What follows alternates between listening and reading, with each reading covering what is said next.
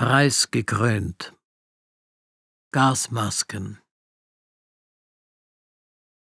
Elena. Bodnar hat ihre. Karriere in Tschernobyl begonnen, als die. Medizinerin der. Uni Chicago die. Nachwirkungen der. Atomkatastrophe untersuchte, hatte sie eine Idee.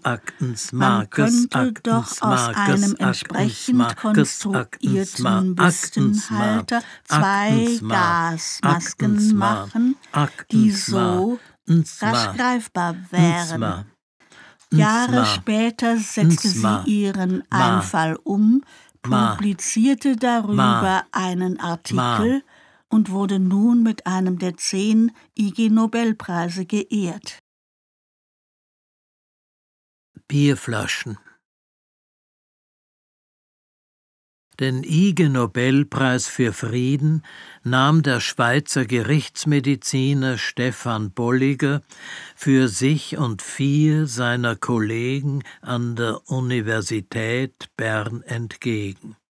Das Team hatte gezeigt, dass es zumindest theoretisch besser ist. Mit einer vollen statt mit einer leeren Bierflasche einen Schlag auf den. Kopf verpasst zu bekommen.